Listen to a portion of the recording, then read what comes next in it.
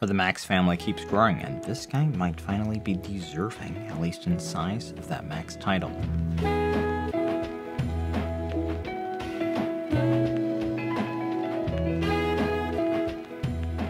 Welcome to Machines More. So not too long ago, the Ncore 100 Max launched. That was number two in Cooler Master's Max lineup, which joined the NR200P Max. Both of those were SF cases, so those were a little bit diametrically opposed to a name like Max.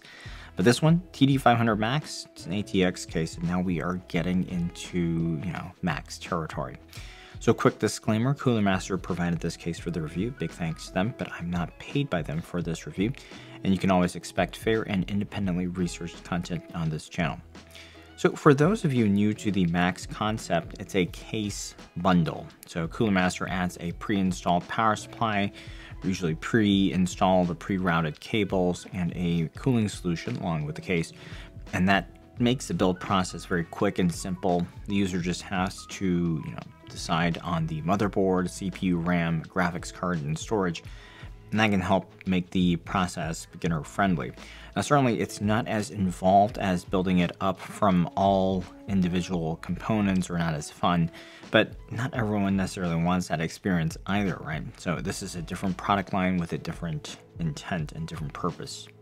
Out of the box is a TD500 V2 that is based on, but it is a unique color, however. It's kind of like the unique color for the NR200P Max because it's gray, it's kind of stealthy, and it's bundled with a customized 360mm AIO and GX2 850 watt power supply, which is ATX 3.0 compatible.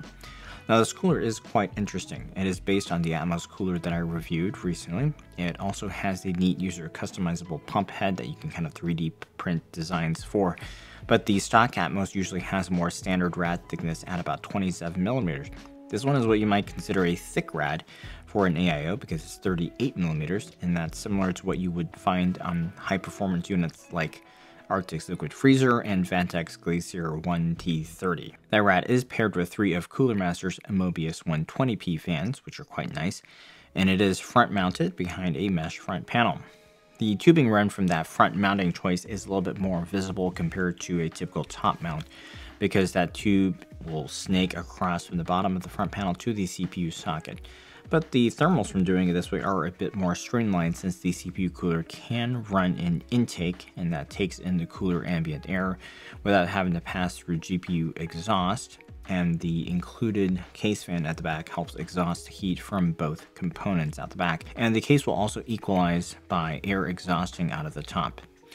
This case is designed to be an easy build and once you prep your motherboard and install the pump head, it's just a matter of connecting up the power cables to the board and slotting in your graphics card along with the power cables. Hook up the pump head cables to the board and the RGB to the hub uh, at the back, which is the RGB and fan hub, if you want RGB at your pump head. Um, you also have USB-C, USB-A front header, front panel connections, and audio cable to hook up. So interestingly, they didn't include one of their single front panel connectors like they have with the Ncore 100 Max or the NR200P V2.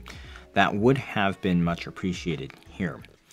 Cabling in this case is very simplified since they built in a two-stage connection system here and instead of having to route cables through the motherboard tray basically you have a pre-mounted extension cable that has connections to the power supply on the blind side those are already connected. And within the main chamber of the case you just need to route these little short sections to your board and GPU from those connection points. These short sections also feature the textured vinyl that they look pretty similar to other Max products and this creates pretty easy cable management at the front.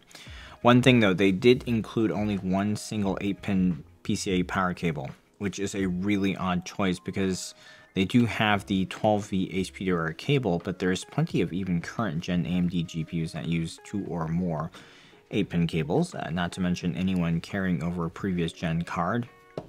I'm not sure what that is. Uh, there doesn't appear to be any other port location cut out for that two-stage extension. But I think this would be really easy to implement. So I think it's a little bit of an oversight. Um, and it's a shame because otherwise, if you aren't using a 12V HPWR GPU, it's absolutely fine.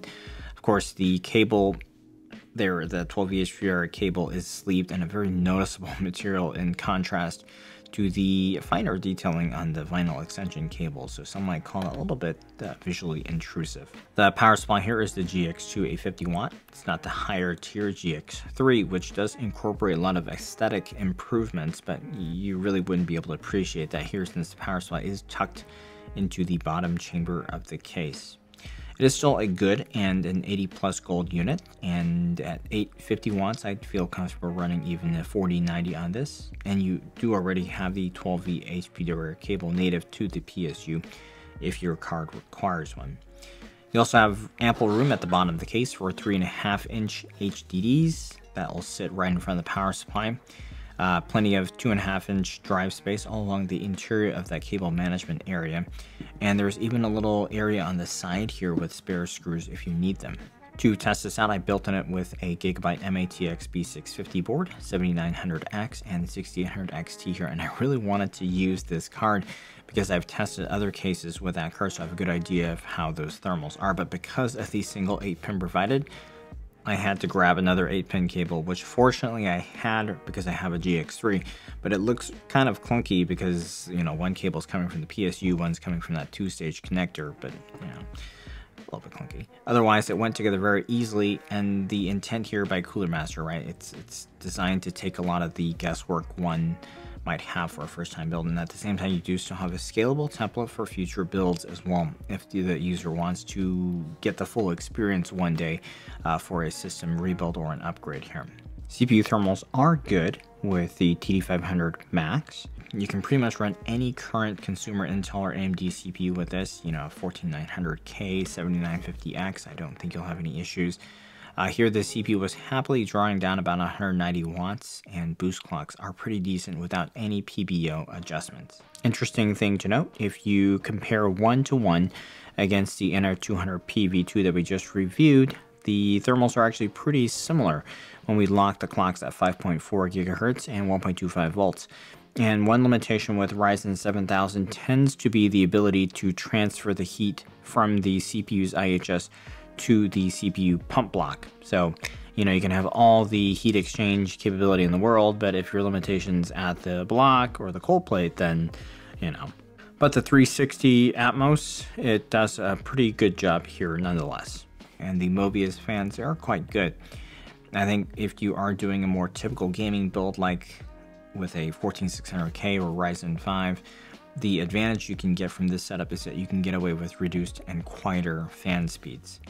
For 1440p gaming, the CPU was really, really cool, and you can see we are getting the boost clocks typical for the CPU at stock, and you really could run the CPU fans slower here and still get acceptable thermals. GPU temps are good, but they're not great. At least um, in this regard, there's no particular feature here that would boost these temps with this case. Uh, there's no fans at the bottom, right? The source of the intake air is the fans uh, exhaust from the radiator. So the only way this could get a little bit better is if you add fans at the top, which you absolutely can do. You can add three 120s or a, uh, a few 140s if you wanted.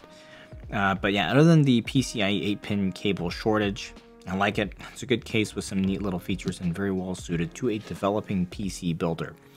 Pricing for this unit is $400 US, so if you do some math, well, if you were to get the components separately, the case only you can find it for about 100 bucks. It does come with two additional fans versus the Max. The exact power supply I had difficulty finding in the retail channels, but figure that the GX3 is about $150. Their MWE Gold is $90, which is a lower end product. So I call it 130 for the bundled 850 watt. Then you have the cooler, a stock Atmos 360 is 150, but these have what I would consider better fans, actually much better fans, with the Mobius 120s, and they're usually $30 each. Plus, you have a thicker radiator, so kitted out this way, it's definitely a higher value than the stock Atmos. If you back into it, you're basically spending 170 or so on this cooler, which I don't think is unreasonable. Um, as a point of comparison, though, for 170, you could also get something like Lian Li's GA2 Trinity Performance, which I'm testing for review, and this is an incredible top tier cooler, and it's going to be hard to beat. Um, so based on this, I do think you could do as well and likely a little bit better on value or performance if you were to grab a case only and pick up the power supply and cooler separately, but that's not going to be laid out and pre-installed already. So this really is more geared That's someone who is prioritizing convenience, and it is still a pretty decent package that they've put together. I mean, nothing is stopping you if you wanted to get a TD500 V2 and then you know piece it out that way either, right? But if ease and convenience is your goal, and you just want to build and play or learn into the process. My opinion is this would be a very good ATX choice here, but the caveat is if you are building in this case, at least until Cooler Master is able to do something about that single 8-pin cable, your easier bet is going to be a 4000 series NVIDIA card because your 4060, 4060 Ti, and some 4070s you'll have a single 8-pin, and for some 4070s, you'll have the 12V HPWR, 4080 and 4090, you'll have the 12V HPWR. So you will have your bases covered with the 4000 series card here. So if you found this helpful, if so, please give a like, subscribe if you haven't already. I'll leave the links for the case and the components down below. Thanks for watching.